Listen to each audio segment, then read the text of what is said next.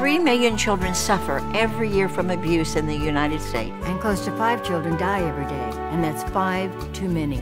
Childhelp was founded in 1959 to support victims by providing prevention, intervention, and treatment programs. Our mission is to meet the needs of abused, neglected, and at risk children. Childhelp supports 10,000 Arizona children each year.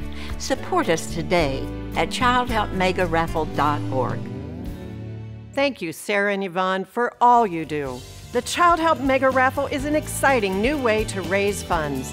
With over 2,900 prizes and 1 in 20 odds, you could win a prize and help a child. Win a new Meritage home, a Maserati, or any of 10 new cars. Travel to 12 amazing destinations. All proceeds benefit victims of child abuse in Arizona. Help a child, win a prize. Get your ticket today at childhelpmegaraffle.org.